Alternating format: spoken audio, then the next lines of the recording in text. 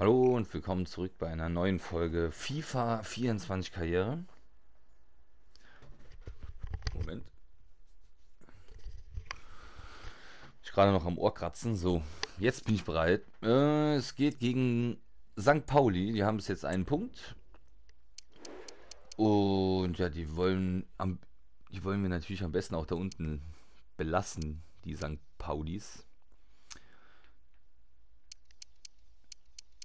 Wir sind jetzt siebter, zwei gewonnen, eins unentschieden, eins verloren.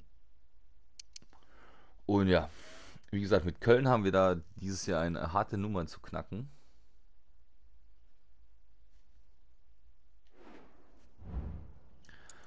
Und da würde ich sagen, fangen wir einfach mal an. Die Mannschaft steht.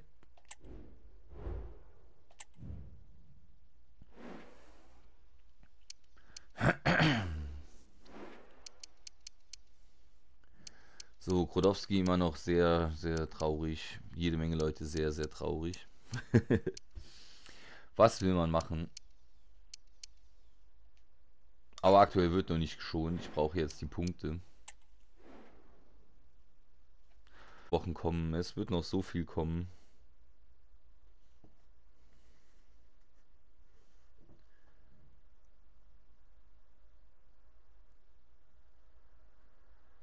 In diesem Spiel im Mittelpunkt stehen wird, ist keine große Überraschung.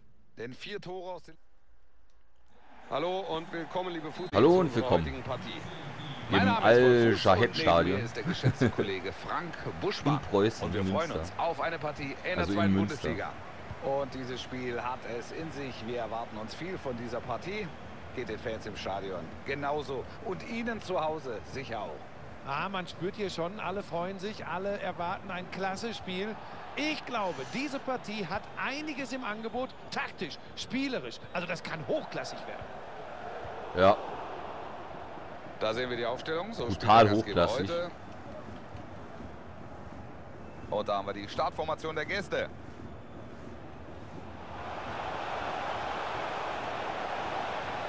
Hartl. Machen Sie jetzt gut. oh, Klasse boah, war das. Oh. Schwacher Ball. Und das aus der Distanz. Ja, das ist Was hat er? Graue Haare, ne? Aber jetzt haben wir uns wieder, dass er den nicht macht, gut unter Bedrängnis.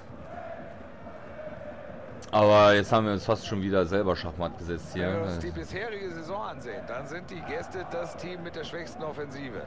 Die Offensive ist natürlich ein Problem, da gibt es nichts zu beschönigen. Weniger Tore hat keine andere Mannschaft gemacht. Also das ist eine Statistik, die niemand gerne liest.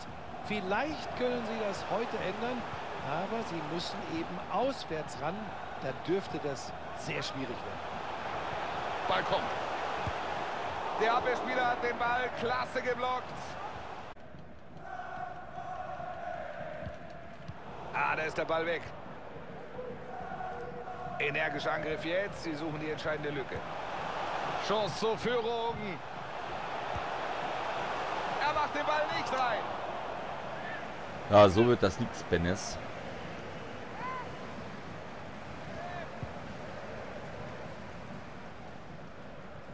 Soldi wartet, glaube ich, auch noch auf seinen ersten Zweitligatreffer, oder? Das ist unser Grauhaar. Jetzt habe ich gar sie nicht geschaut, drücken, wie er heißt. Führung. Oh, der war stark. aus. Aber war der Sturm zeigt schon, warum sie die schwächste Offensive haben. Das kommt nicht von ungefähr. Benes. Da könnte jetzt was entstehen. Das sieht gefährlich aus. Boah, jetzt war Penny selber. Gutes Tackling.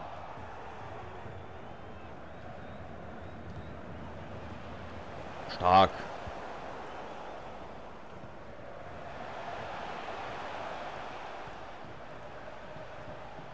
Das ist Schöner Ball auf. Bradley. Und jetzt komplett. War er oh. Bradley kommt jetzt in, in die Mitte gelaufen. So. Und jetzt aber. Jetzt, jetzt, jetzt. Oh. Bei den oh. Chancen, die sich die Mannschaft ja auch erarbeitet, ist das Führungstor nur noch eine Frage der Zeit.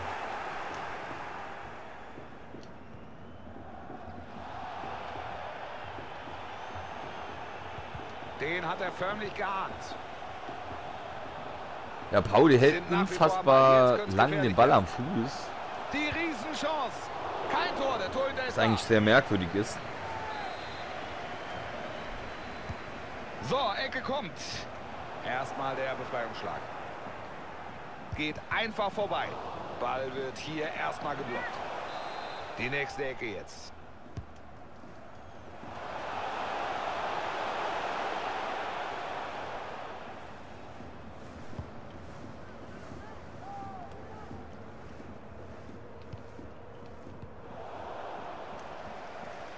Sie gehen dazwischen. Da kam das Foul, aber es gibt Vorteil. Ganz sicher.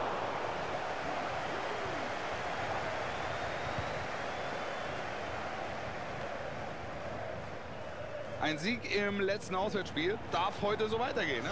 Da stand ein verrücktes Ergebnis am Ende auf der Anzeigetafel. Ich setze wieder auf sie. Er zieht vorbei. Oh! Sie machen nichts draus. Und das war die Chance zur Führung. Pauli ist wirklich die schwächste Abschluss war Offensive.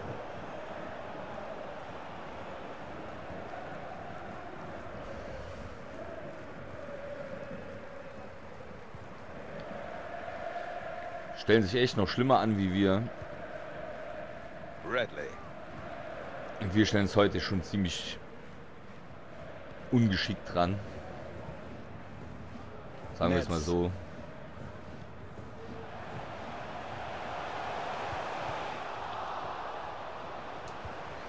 Oh, ich wollte eigentlich so Grätsche ansetzen, aber okay. Auch gut.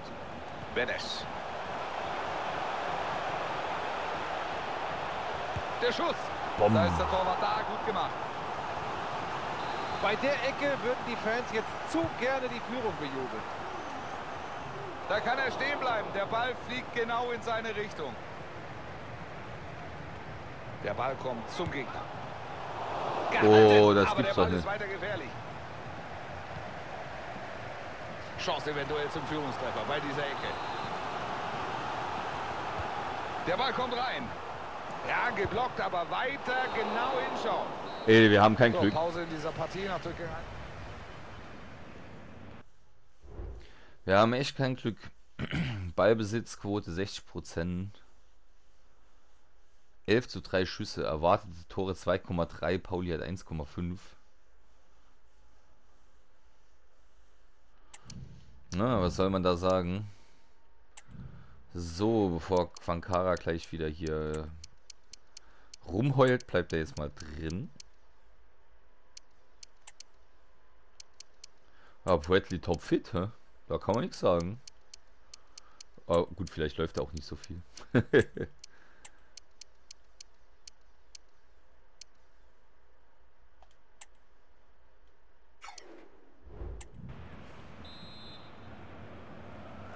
Pause ist vorbei, das Spiel geht weiter. Der Viererwechsel jetzt direkt.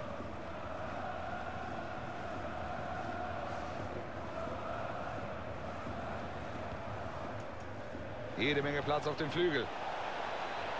Oh, da wären sie doch noch gestoppt. Das war eine gute Gelegenheit.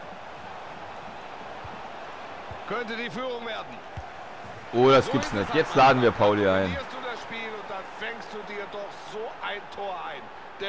Aber die haben alle komische Frisuren bei Pauli. Ja, aber das hier war wieder. Diese Szene zu unterbinden, aber ja, dieser Befreiungsschlag ist zu schwach. Und Was dann, macht unser Mann da? Was war das? Das war dann schon eher eine Einladung.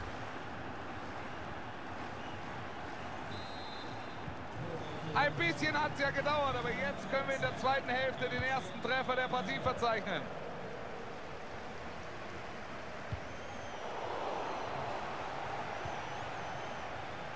Komm nicht gegen Pauli, Leute.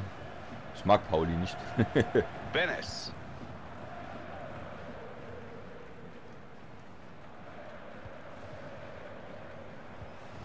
Benes. Ja, energischer Vorstoß. Ja, gut gemacht. Ball kommt rein. Jawohl. Benes auf der mit dem. Ausgleich. Hier geht's jetzt Schlag auf Schlag. Hier kommt nochmal die Wiederholung dieses Tores. Zunächst spielen sie zurück und dann müssen wir hier seine Nervenstärke loben. Kurze Distanz, schaut kurz, wo ist die Lücke und findet sie. Ja, in der zweiten Halbzeit wird hier wenigstens mal was geboten. Ball erstmal abgegeben.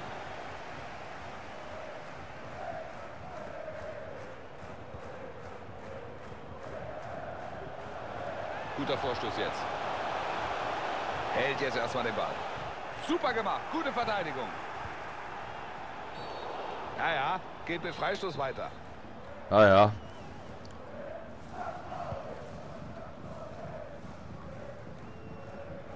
So, und jetzt haben die Spekulationen um endlich ein Ende. Er geht zu Aston Villa. Also mit ihm verstärken sie sich in jedem Fall. Das ist ein richtig guter Transfer. Halbe Stunde noch, dann ist das Spiel vorbei. Erstmal hier der Ballverlust.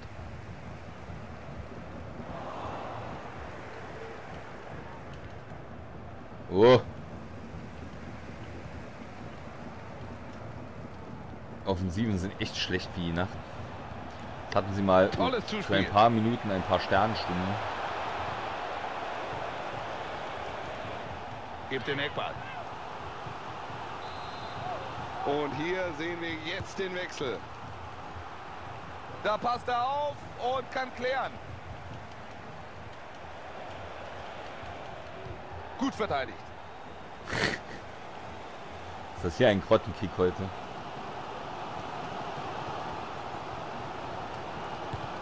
Weiter gefährlich nach diesem Block. Was für eine Chance. Klasse gehalten. Richtig stark gemacht, verhindert hier ja, den sicheren Treffer. Und jetzt wollen sie wechseln. Da kann er jetzt erstmal klären. Klasse gehechtet und gehalten. Kein Tor, die Gefahr ist bereinigt. Wieder Ecke. Flanke kommt. Situation erstmal geklärt. Super Tackling.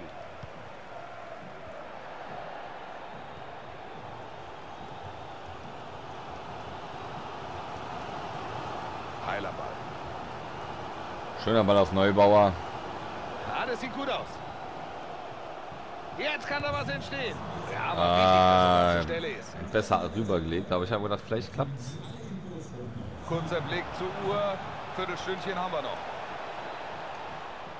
Da ist er Stark. da. Guter Zweikampf. Hat den Ball? Oh. Sie suchen die Lücke.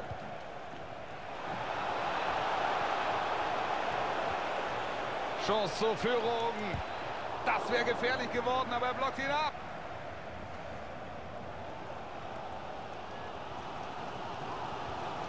Benes. Sie kommen noch mal. Oh. Weiter steht es hier Remis. Da sollte der Pass schon längst kommen. Ganz alleine. Und Oh, das gibt's doch nicht. ist die späte Führung. Damit hat hier ja keiner mehr gerechnet. Treu macht das Tor. Geht hier noch was? Oder war das die Entscheidung? Lange ist hier nicht mehr zu spielen.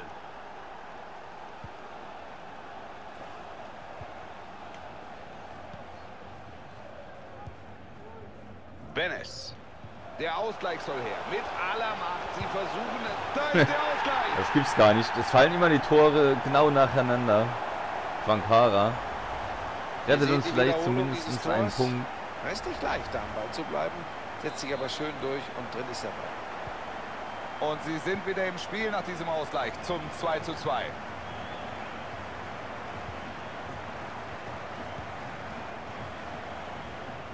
Also man muss ja echt mal sagen, trotz der vier Tore ist offensiv. Ist, ist da. offensiv hier echt ein Chaos.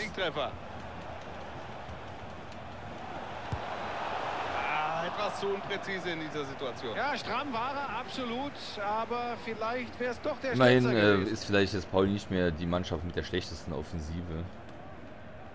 Vielleicht haben sie den Ruf jetzt abgegeben. Da bekommt er Unterstützung. Boah, schöner Ball auf Heil. Könnte die Führung werden. Und das, oh, das ist nicht, wie kann es das nicht sein? Er Oh Mann! Unmöglich, lange zu spielen ist nicht mehr. Schießt der direkt auf den Torwart, da fällt mir das, da fällt mir das Gebiss raus. Jetzt, Jetzt aber Eckball und So, Schlusspfiff. Nein. Hier passiert nichts mehr. Die Gäste holen ein Unentschieden. Es ist also ein Unentschieden. Er ja, ein. Unentschieden. Immerhin besser als noch zu verlieren. Aber man muss jetzt echt sagen, trotzdem vier Toren war es echt eine grausige Offensive, Offensivleistung von beiden Teams. Grausig. Danke, dass Sie direkt nach dem Spielende für ein paar Fragen zu uns rübergekommen sind.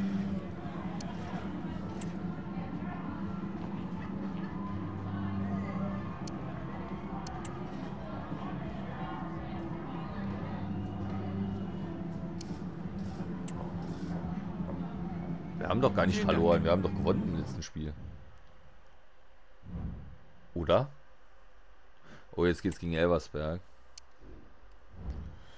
So, Transfersangebot für Tresoldi. Manchester United. Was jetzt hier für Vereine anklopfen, ne? Das ist brutal. Wer kennt's nicht?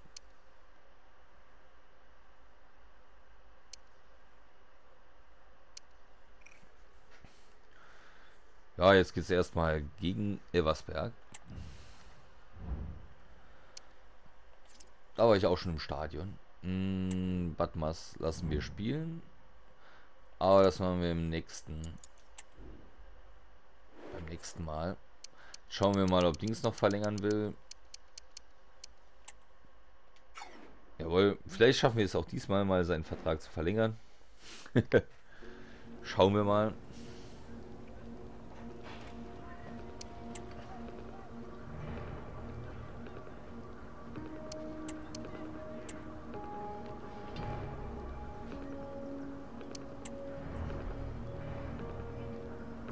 Aha. 2300, okay. Da haben wir es doch. Jetzt sind alle, sind alle bereit, ja, ne?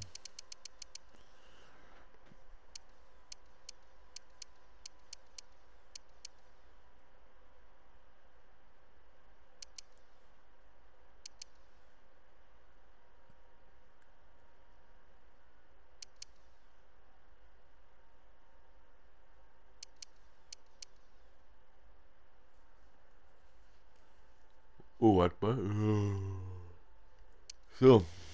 Ähm, Netz muss nächstes Jahr noch ran. Aber erst nächstes. Puertli nächstes Jahr. Detas. Na, vielleicht wird er bis dahin auch verkauft.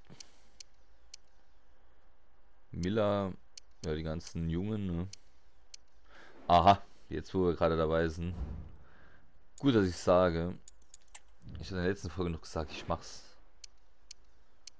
Ich habe es aber nicht gemacht. Ja, hier können wir aber eigentlich noch warten, ne? Weil, sagen Sie jetzt, wenn Sie 17 sind, können wir sie gerne ins Team holen. Ansonsten ist es eigentlich relativ Wurst, denke ich mal.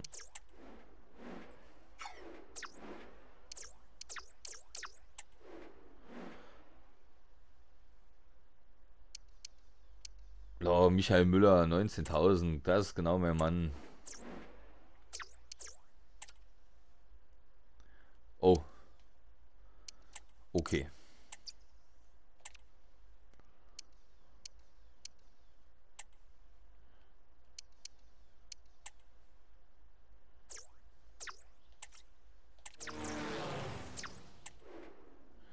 Aber wir können ihn ja wieder feuern, ne?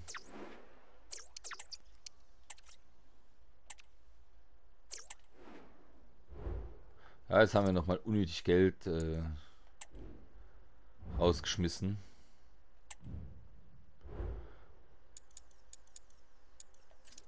Wo ist denn wieder... Im Büro müssen doch die Finanzen sein.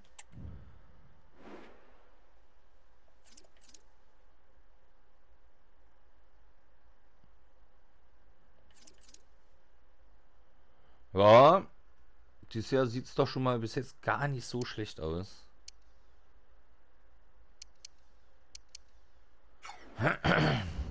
Ja, wie gesagt. Kriegen wir auch noch hin. Dann würde ich sagen, danke fürs Zuschauen und wir sehen uns gegen Elversberg wieder. Bis dann. Ciao, ciao.